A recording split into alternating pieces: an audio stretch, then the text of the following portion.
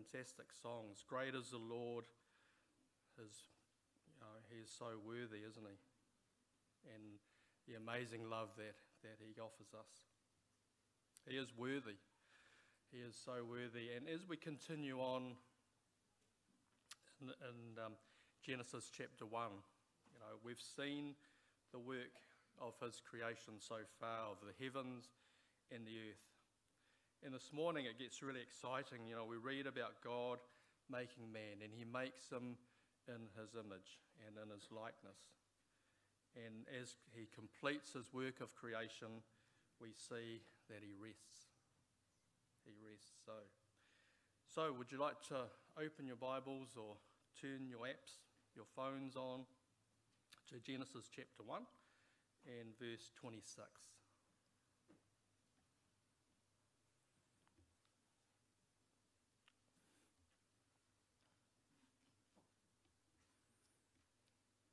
Verse 26.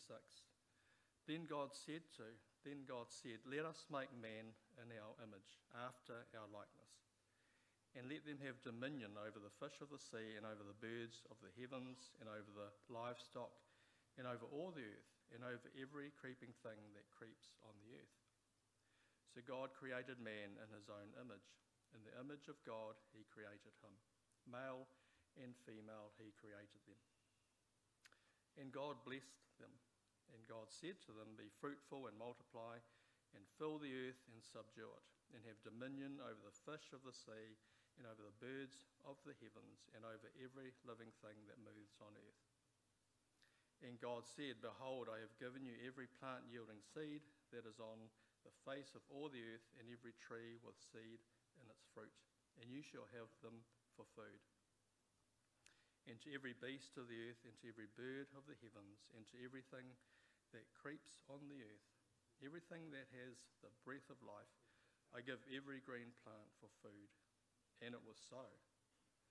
And God saw everything he had made, and behold, it was very good.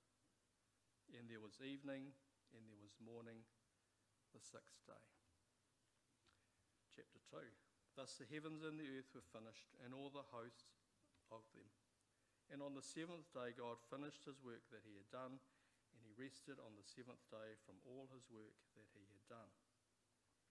So God blessed the seventh day and made it holy, because, because on it God rested from all the work that he had done in creation. Let's just pray.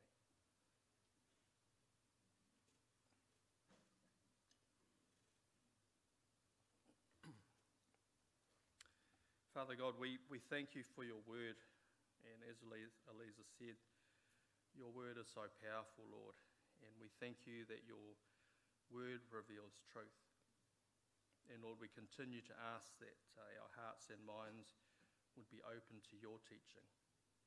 Lord, we have such an amazing privilege to be able to come here this morning and to share your word. In Jesus' name, amen.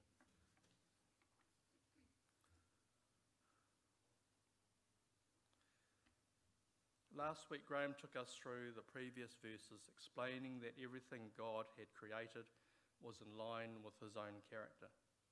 Everything on earth revealed God's order and goodness. And we can sense God's satisfaction as he surveys what he's created so far. At the end of verse 25, it says, And God saw that it was good. He saw that it was good. The earth has been fully prepared to sustain life. There's an atmosphere, food, and now every living thing created and fully sustained. Verse 31 And God saw everything that he had made, and behold, it was very good. In verse 1 of chapter 2, thus the heavens and the earth were finished, and all the host of them. God has finished his work on creation. I imagine in God's eyes, everything He made was just as He planned. It was made to His standard, without a single blemish, without a single fault. It wasn't just good, it was very good.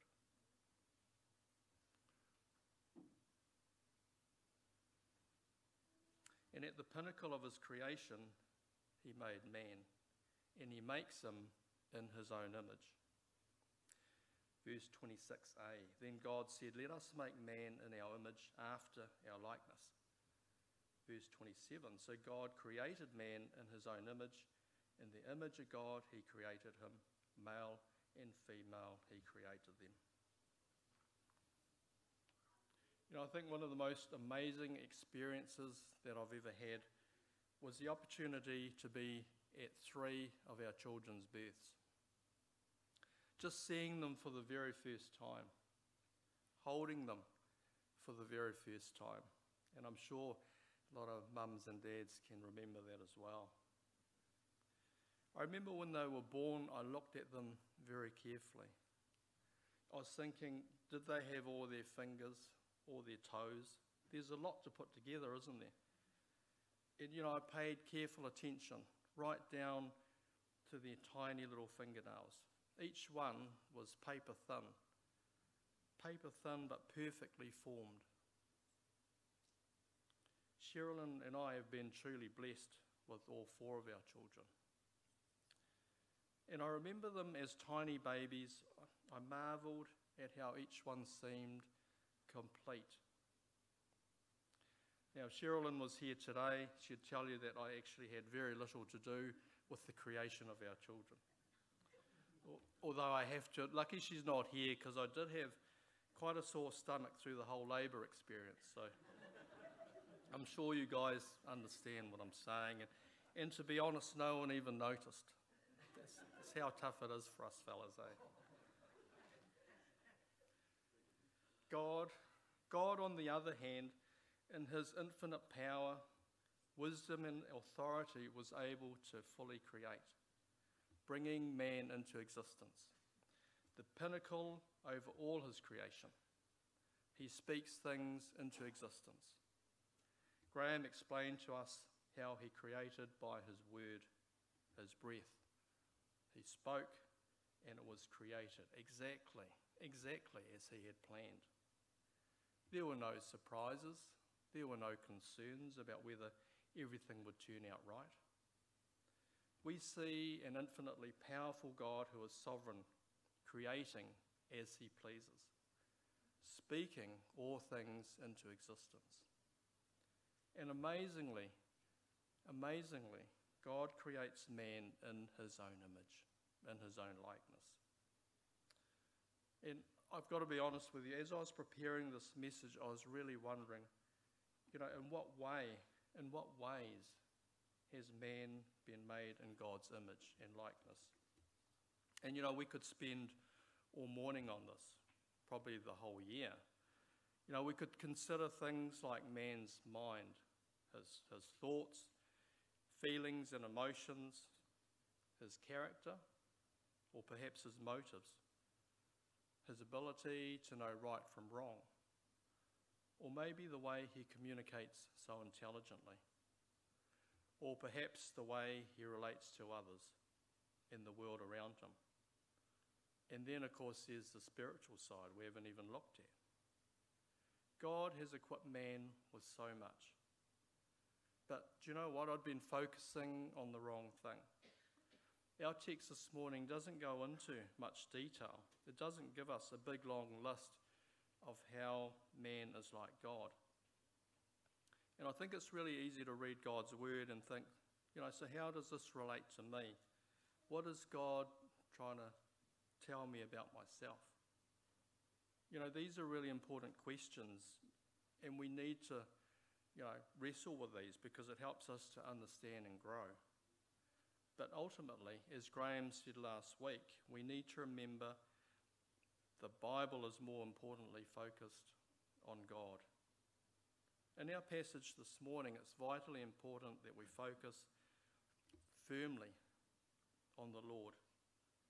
We don't focus so much on man, but we focus on man's creator. We know looking at God's creation reveals his own character. So if, if we wonder what man is like, how he's made in God's likeness and image, we need to look at the main reason or the purpose God made man as a key part of his creation. So let's jump in, let's get cracking. Um, just a note, as I talk about man, I'm generally referring to both Adam and Eve, and so also to humankind. And it's also important to remember the text very clearly um, says that God created both man and woman. God created both man and woman equally. Okay, so in verse 26, God says, Let them have dominion over all the living creatures he has created, and indeed over all the earth. And in verse 28, he repeats this and says directly to them to subdue the earth and have dominion over every living creature. And he also blesses them. We can, we can see God created man to be his representative on earth, to rule the earth on his behalf, wanting the very best for him. If we think about the example of a royal family, let's say, for instance, there's a king, first up. Now, if this king has a son, then naturally he will be a prince, not because of his talents or abilities but because he's from the royal family line. He is from his father, the king's lineage.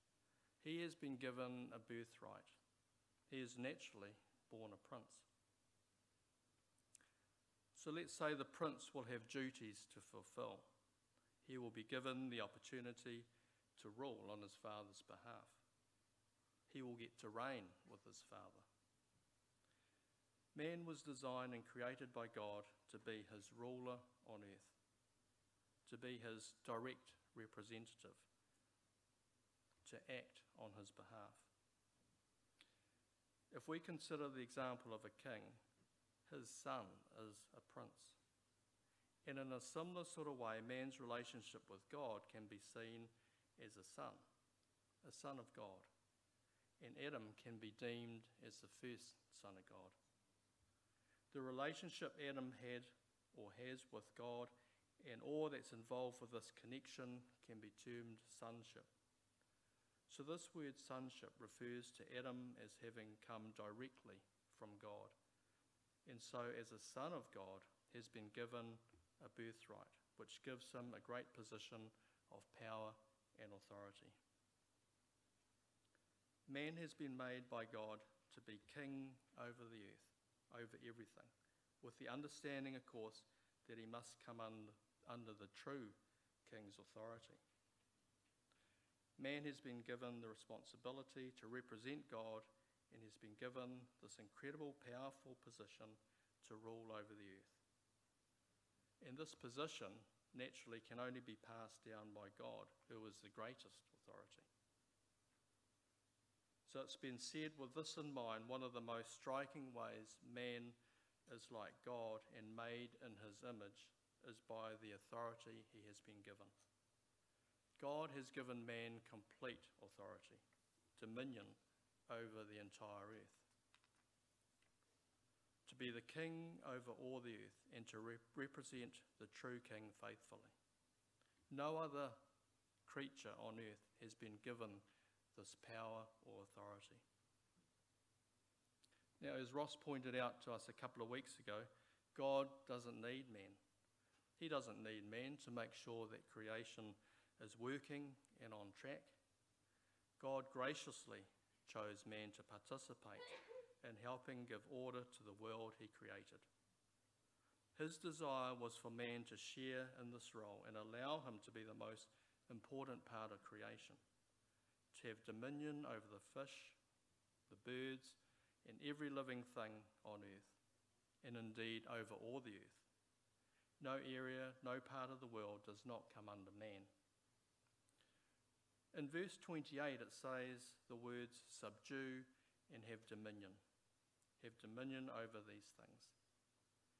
Now, when I first read this, I thought, gee, that seems pretty harsh. That seems like pretty brutal almost. And you know, I was thinking about things like conquering, suppressing, ruling with power, and to dominate. And we know none of these types of leadership are good. When we think of the word dominion, we think of a place or an area that comes under some leadership or is perhaps governed. Surely God would have wanted man to take the lead and continue along the pattern he had started. That is, to bring and maintain a kind of order to the world that was described as very good. As one writer puts it, dominion is not the authority to work against God's creation but the ability to work for it. Dominion is not the authority to work against God's creation, but the ability to work for it. The sentiment or idea of having dominion and to rule is more about man's position of authority, using the skills and talents God has given him to help create order and nurture God's creation a creation that was already very good.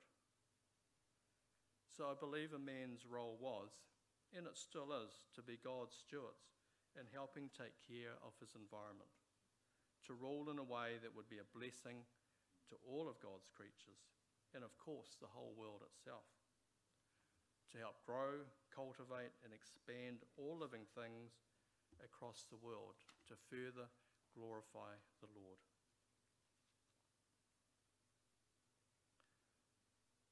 God places man on the earth to rule on his behalf. So, what else did man, uh, what else did God have in store for man? What else was he wanting him to do? Verse 28 And God said, and God blessed them, and he said to them, Be fruitful and multiply and fill the earth.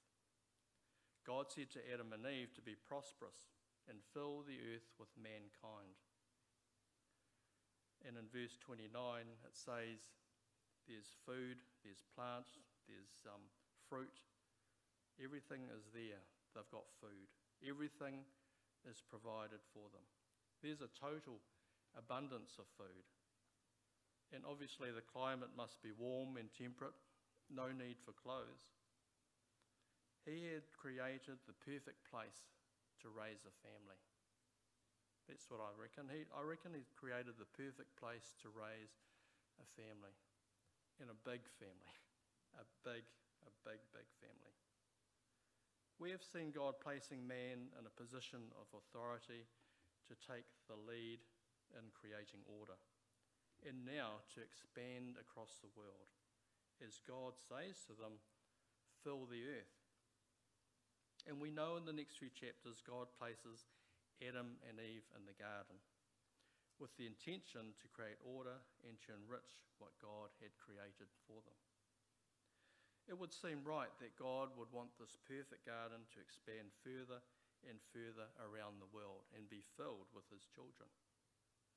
A people that would serve their God, to be obedient to his plans and purposes, and to dwell with him and to worship him. Indeed, man and woman were designed to be priests in the garden. And as that garden would grow and expand, it would seem right this royal priesthood would eventually cover the whole world. And is, is that not what God still wants today? For his name to be known throughout the entire world? It's fascinating. We saw Jason's photos this morning seeing that jungle turn into a garden, a garden of his people. And praise Jason and Shirley for the work that they've done and are doing over there. But this is what God wants. Surely, surely he deserves the glory his um, revelation around the world, not just in a small place The creator of the heavens and earth is surely worthy to be loved, to be worshipped, and to be glorified across the whole world. God's creation completed, and so he rested. Let's just take another look at those last few verses, uh, verse 31 through to chapter 2, verse 3. And God saw that everything he had made, and behold, it was very good. And there was evening, and there was morning the sixth day. Chapter 2 Thus the heavens and the earth were finished, and all the host of them.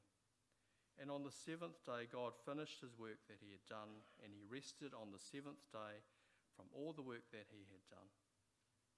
So God blessed the seventh day and made it holy, because on it God rested from all the work that he had done in creation. So God looks around at all he has created and he declares it is very good. It is very good. And he is clearly signaling that his work on creation is finished. He's made the heavens and the earth, and it was finished. There's a definite end to his work on creation. He stops and rests. He stops and he rests. Not because he's tired, but simply because he's finished. Everything has been completed. He doesn't need to go back like those contractors if they're working on a new house or something. You know, there's nothing to fix up. There's nothing to check over. There's nothing to finish off. It's finished. Everything was up to God's standard, every single detail. Like my kids' tiny little fingernails, everything perfectly formed as He planned. And so God rested from all the work that He had done in creation.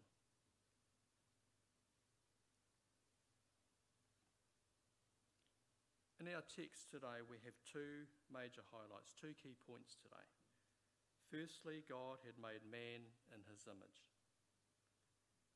the pinnacle of his creation. Man is a pinnacle of his creation. The final part of his work was now complete. And the result, it was very good.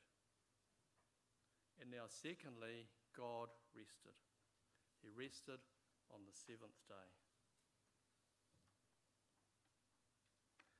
So, why is the seventh day so important?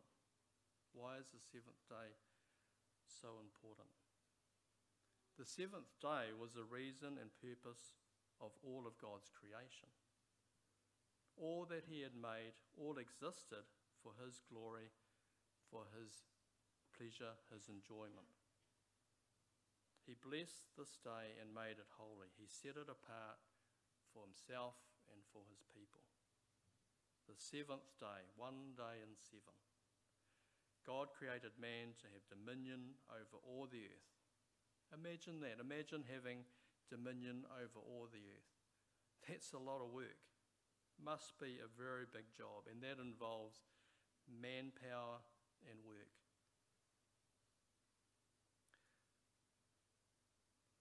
So, man was designed not only to work, but to also rest and make time to spend with God, to enjoy Him, to commune with Him, and to worship Him. The seventh day, a great opportunity to take time out to remember and honour the Lord. But hang on a second, aren't we supposed to be doing these things every day? Shouldn't we be communing with Him? Shouldn't we be enjoying Him? Shouldn't we be worshipping and honouring Him, remembering Him, remembering Him every single day, not, not just Sunday, but every day. We looked at how God created man to have divine sonship, the relationship between a father and a son, or parent and their child, should really naturally be a very special relationship. Man was made to design to commune with God the Father and that also meant to rest in him. Verse 3 So God blessed the seventh day and made it holy, because on it God rested from his work that he had done in creation. In our passage this morning, the seventh day is referring to an eternal day. It doesn't say at the end of the seventh day there was morning and there was evening, signalling the end of that day. The seventh day is never ending. Think about what Jesus said in Matthew 11 28 to 30. He says, Come to me, all who labour and are heavy laden, and I will give you rest. Take my yoke upon you and learn from me, for I am gentle and lowly in heart, and you will find rest for your souls. My yoke is easy and my burden is light. Man's main purpose and focus was not to work and work and work, even if it is to serve the Lord. Man's purpose is proclaimed in Revelation 21, verse 3. And Ross brought this to us a couple of weeks ago. Let's read this. And I heard a loud voice from the throne saying, Behold, the dwelling place of God is with man. He will dwell with them, and they will be his people, and God himself will be with them as their God. God had created the seventh day, so man was to dwell and have fellowship with their God. This is the whole reason God created man, so he can dwell with his people and he will be their God. A God who will be loved, praised, and worshipped and glorified for eternity. God created the heavens and the earth. Then, at the pinnacle of creation, he makes mankind in his image so they can dwell together. For man was to enter into God's rest for eternity. So, this morning, are you able to truly rest in the Lord? Are you able to truly rest in the Lord? And are you made in God's image? Are you made in God's image? We know that man's image has been damaged ever since the fall. Something has changed, his nature has been altered. And as a result, man's view of himself, his world, and the view of God is no longer as it should be. And tragically, for most of mankind, this will ultimately change their destiny. Think of it, this will ultimately change their destiny. If you ask anyone how they feel about themselves, you'll get a vast array of answers. You'll get answers like, I'm just no good, I'm useless, I'm hopeless, to, hey, I'm the greatest, look at me, I'm the best. Whether we think too poorly or whether we think too highly of ourselves, the problem we all have is we spend too much time thinking about ourselves, when in fact our focus should be on someone else, our Lord God. And as I stand up here this morning, I'd be the first to put my hand. I struggle with this. I really do. I really struggle with this. You know, we should be thinking about ourselves with the primary thought that we are made in His image. We are made in His likeness. You see, all man is made in His image and in His likeness. Even with all the brokenness, all the scars, every single person is made in God's image. When we think about an unborn child, the elderly, the sick, or those who appear totally evil, the Putins, the Hitlers, or those who massacre the innocent or the weak in schools and hospitals. It's horrendous. But all of these people are still made in God's image, in his likeness. Each and every person in the world, all of us here this morning, are of great value. We are made in his image, in his likeness. So, all of you, I'm here to tell you this morning, each and every one of you are of great, great value, whether you think that or believe that or not. However, we know, due to sin and disobedience, man's image has been damaged. And we know in God's eyes we're sinners. We cannot enter into God's rest on our own, no matter how hard we try, no matter what we do. We know we all fall short of His standards. And this is where our story begins. This is where our story begins. Because of our disobedience and sinfulness, we cannot come on our own before the Lord and enter into his rest. But there is one. There is one who is obedient, who has taken our place, so we can have access to the Father. And Mark read this out to us last week. It's Colossians 1 15 to 20. This sums things up perfectly. It sums things up perfectly for us this morning. So let's read this together and savour these amazing words. He is the image of the invisible God, the firstborn of all creation. For by him all things were created, in heaven and on earth, visible and invisible, whether thrones or dominions or rulers or authorities. All things were created through him and for him. And he is before all things, and in him all things hold together. He is the head of the body, the church. He is the beginning, the firstborn from the dead, that in everything he might be preeminent. For in him all the fullness of God was pleased to dwell, and through him to reconcile to himself all things, whether on earth or in heaven, making peace by the blood of his cross. Amen. Our Lord Jesus himself God Himself. Creator of all things, the Father made everything through Him, but everything is also for Him.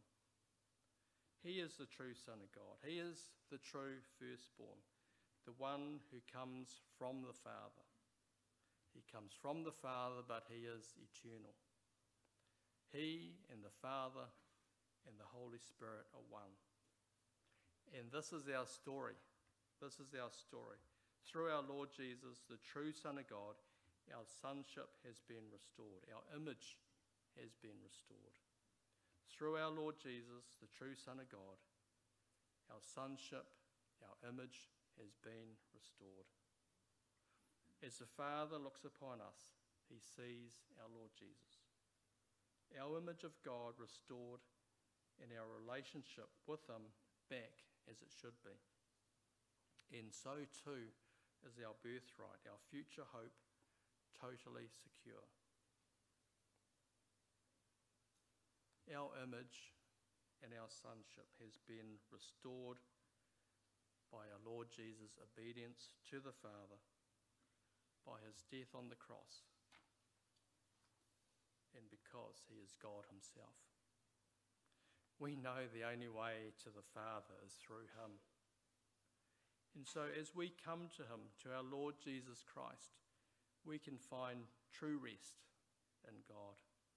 We can find true rest in our God, our Father in heaven. Let's pray.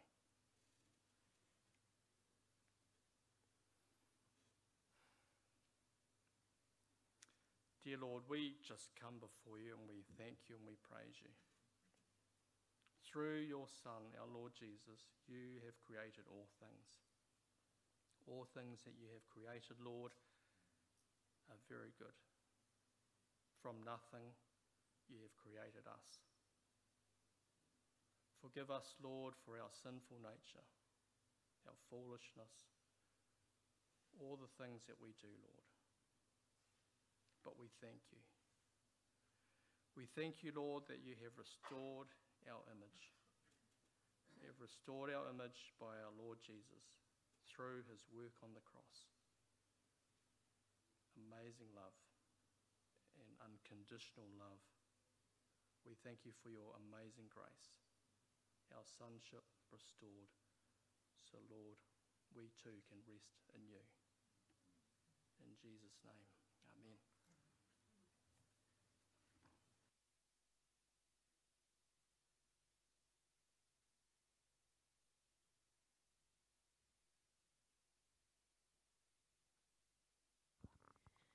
Thank you, Darren.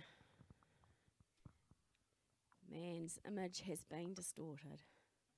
God, in his great love and mercy, has made the way for us to share in His goodness so that we can become very good in His sight.